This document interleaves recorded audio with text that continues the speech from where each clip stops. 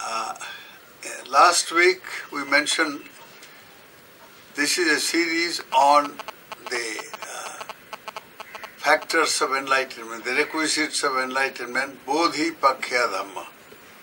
That means those factors which contribute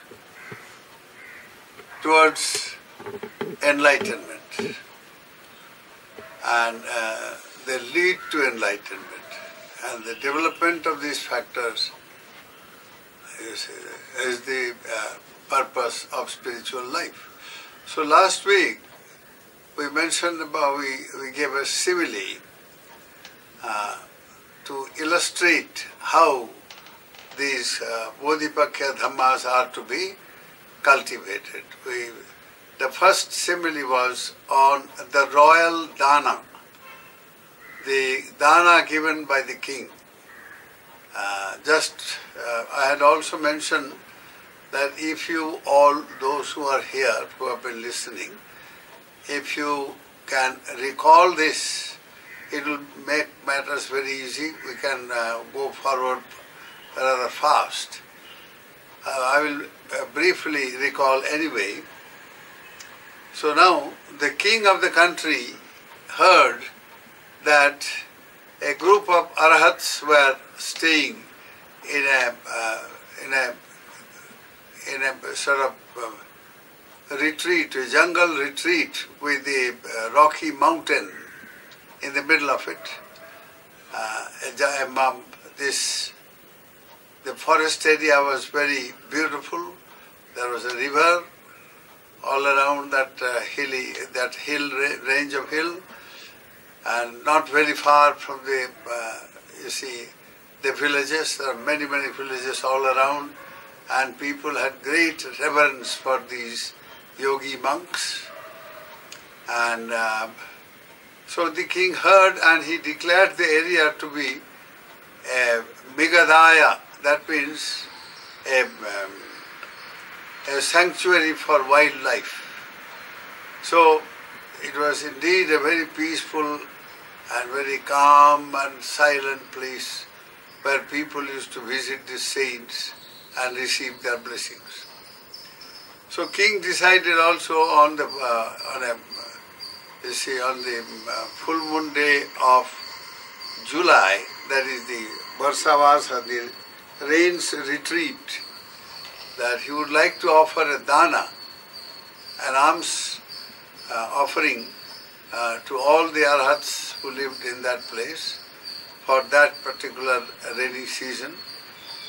And uh, so he uh, sent his ministers beforehand and invited them, uh, the arhats and they agreed. So on that, uh, on the day of, on the full moon day, the king had already, uh, you see, he had established some kind of a tent village. That is a camp consisting of all kinds of structures, all tents, and some, um, you see, there are two main buildings, one the dining Dhanasala and the other the Dhamma hearing, the, Dhammasala. So these monks arrived on that day exactly at 6 a.m. in the morning, as usual, for their morning uh, pratarasa, that is, the morning alms round, and they received uh, kanji and uh, some liquid food and uh, some other eatables, and that was their breakfast. So, as usual, the monks came and all in one line, and people from surrounding villages, and the king had come with a big retinue of his officials and others, and the citizens too had flocked there. So the monks were received with great reverence, and they were offered with the with the kanji breakfast. They had it. Then uh, they went and sat down in the, from the dining shala or hall. to the Dhamma uh, hall, where they, uh, they were supposed to hear the Dhamma. They gave the discourses and the others listened to the discourses. So now, uh, on that first day, the four arhats were chosen to give uh, discourse, uh, discourses, the topic being mindfulness as the source of emancipation. We had, if you remember, we had defined what exactly is meant by bodhi, enlightenment. The subject in this series is bodhi pakkhiya dhamma. The factors which lead to the attainment of uh, bodhi, enlightenment, which simply means a state of emancipation. There are two concepts which I uh, mentioned last time. One is the concept of emancipation. The other is the concept of being awakened, waking up into the reality from a state of delusion and mental darkness, ignorance. So, this theme, uh, you see, this emancipation to achieve in its very perfect form, in the ultimate form, leading to liberation from uh, samsaric existence, the worldly existence. One has to cultivate those factors which, when perfected, brought about uh, emancipation, that is to say, enlightenment. So the emancipation idea, uh, last time we mentioned, that of the American blacks, they were all slaves. They were in a terrible, terrible condition indeed, and uh, beaten and hanged, and for the slightest thing tortured, and uh, awful state. Then they were emancipated by Abraham Lincoln, and that became, uh, you see, high point in American, the unfoldment of American democracy and the economic progress, etc. Now, just imagine after uh, emancipation how they have gone through the process of emancipation. It was a process, it was suddenly, it was not that suddenly they all became free and uh, they became equal uh, to the, the others, that is the whites and so on. No, they were under a lot of restrictions for a long time indeed. But after the Second World War, round about there, you see, they had their uh, emancipation in a very, uh, in a very, very uh, visible, evident way. So today they have a black president. The emancipation had led to that from the state of a slave to the state of a president of this country. So, liberation or emancipation simply means that a complete transformation of a society, of a people, of a polity, of an economic system, a whole range of a civilization as such. Now, if you extrapolate this idea to the uh, to spirituality, to the field of spirituality, emancipation simply means the being freed from the state of bondage, bond. You see, to be bonded, to be bound or uh, fettered. The jail birds are all fettered. All the prisoners are fettered in prison in prisons. They are fettered and bound and tortured and all that. Once they are emancipated from the jail, they are freed from all those. And they enjoy freedom in a way that they, uh, you see, they can achieve happiness and uh, all the attributes of civilized life. Now, this emancipation is something that has to be felt moment to moment. So now to give you an example, the word uh, bondage or fetter is known as sangyojana. See, sangyojana is a technical term in Buddhism and very, very important term in it. And there are ten such fetters that bind us in samsaric existence. And when we are able to break asunder these bondages, these fetters, it is then that the mind gets fully transformed and one becomes enlightened, liberated from the wheel of being born again and again, dying again and again, and being reborn again and again ad infinitum, endlessly. Now the idea of samsara is just that to be born again and again, die again and again, being reborn again and so on. So this whole process of bondage that worldly existence as such brings about, the end of it is spiritual emancipation. Now, how the bondage occurs, it is, uh, it is something that every spiritual seeker should understand. It is said, "Sangyo Sangyojanam iti sangyo sangyojeti anto eh, adhyattikam adhyattikam bahirikena sangyojeti. That means our inner world, which is the world of the mind, gets interlocked with the external world.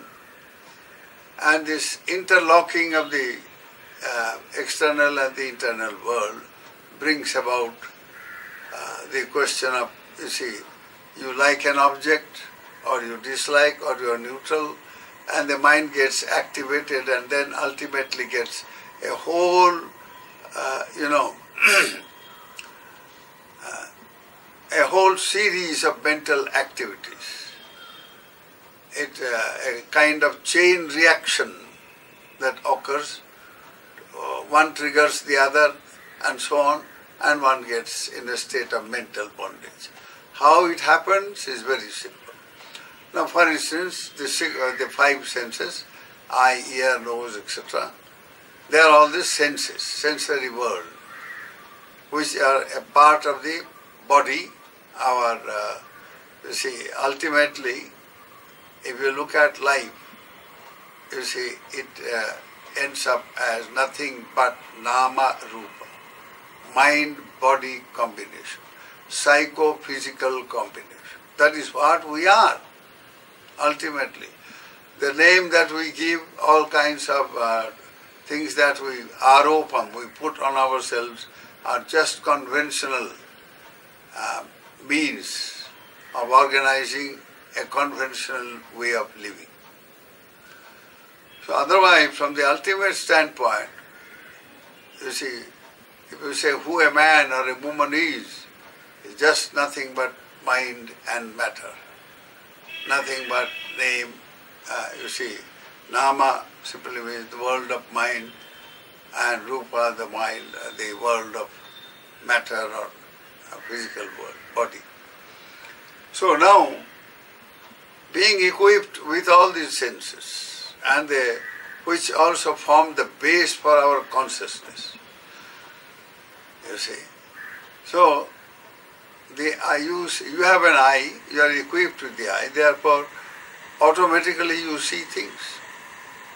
You see visible objects, and when you uh, see a visible object, you like it, and if you like it, you desire it. If you don't like it, you are repelled from it, so you want to get rid of it. That also is a kind of desire to get rid of. So desire, desire, desire. That's what this interaction brings about. And desire grows into craving. And craving grows into attachment. What you crave, that you cling to. When you keep on craving, you keep on clinging to what you crave. And by clinging, you develop attachment. And once the attachments are developed, that is it. That is where the mind, eh, you see, these attachments trigger a process of karmic activity. You commit a particular karma. So, the, the desire or the craving is a mental pollutant. It pollutes the mind and thereby makes the mind weak, debilitated, and distorted, is unable to see what the reality is. So with craving grows, uh, goes ignorance or delusion. So craving and delusion go together, or ignorance. You can't separate them. And this is how karma is committed, and you keep on. A karma means an action in three ways bodily, verbal, and mental. And an action is something that has the potency or the power or capacity to produce a result which is uh, compatible to itself. So now, if you commit, say, uh, an action like punching somebody's nose, you get back another punch on your nose. That is what it is. You invite that. If you do something evil, you also get pain, suffering because of that. If you do something good, you also, as a result of that, you, are, you also become happy, peaceful, and progress, prosperity, all these things. So good and bad actions ultimately, you see, determine our destiny. What we will be in future will be decided by how we live now. And this how we live now simply means how we act now. Ultimately, uh, life is uh, reducible to just one, one factor, that is the action, the fact of being involved in an act. You act in some way or other, either bodily or verbally, speak or think. If you don't speak, if you don't act, at least your mind is active, it's all the time working. You can't stop the mind working. Uh, uh, you see, stop it one. It works. So now these threefold activities or actions, when they are uh, based on will or volition or intention, they are a very, very powerful action indeed, which form the ingredient of our future existence, of our destiny. So, due to these interactions between the senses and the external objects, which drag the mind therewith, the mind gets dragged along with this as soon as the contact between the two occurs and the interlocking occurs, the mind gets dragged. So the internal world of mind and the external world, they get interlocked. And all kinds of, and this process, this brings about a kind of whole chain reaction and series of activities and leading to karma.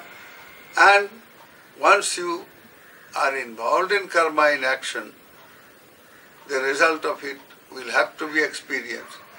And some results are experienced here and now in this very life. Some are experienced in the next, or the next, or the next. So, you see, this is the uh, course of life. So, the bondage therefore means this bonding of the mind with the external world. So you become aware of the external world, and if this awareness is a distorted one, then only all the wrong types of activities follow, wrong, uh, unwholesome karmas are committed, and you get uh, in the samsaric existence ad infinitum, endlessly. come and go, come and go, come and go and die. That's it, that's the story. So now, this bondage to be free, emancipated, therefore, what need, what needs to be done is cultivate mindfulness. Mindfulness is just the ability to attend one thing at a time. That is, focus the mind on one thing at a time and be clearly aware and alert of Jagriti. Be mentally uh, awake and alert about that particular transaction which is called, uh, the transaction called being mindful, being attentive, being heedful. So when you are attentive mentally, this attentiveness is mindfulness. You are mindful of it. So your mind is fully aware of this. And it is this which is the tool, the primary tool for uh, bringing about freedom, emancipation from this bondage which uh, goes on from moment to moment till we live. The whole life is just that. At the end of life, due to this interlocking, bonding of the internal and the external world, at the end of life, when you have to face the critical moment of death, at that time what happens? You see, the, at the last thought, which determines the next first thought of the next uh, next, uh, next life. So in the last thought is based upon some object which is received from any one of these five senses or the mind. Mind is also a sense, a mental sense, and is far more complex and far more, uh, you see, vast in range, and very comprehensive indeed. What you see after seeing, you may forget about it. But then you remember it with the mind. It becomes an object of the mind. And uh, you relive it. Relive that experience again, and the same karmic process goes on again, and you keep on accumulating karmic uh, potencies in this way.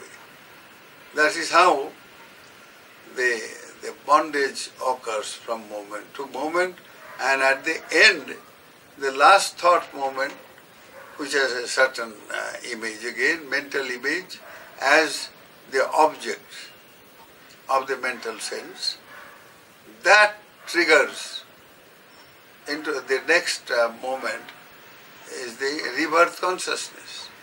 So that triggers the rebirth consciousness. And uh, rebirth consciousness determines the next life. What you are going to be in the future. And that the rebirth consciousness, the first consciousness, will determine that. Your whole course of existence in the next life will be determined by that first consciousness, rebirth consciousness. Now, so that also is another meaning of the word bond. Bondage or sangyo janam. Sang plus yojanam. that which fetters.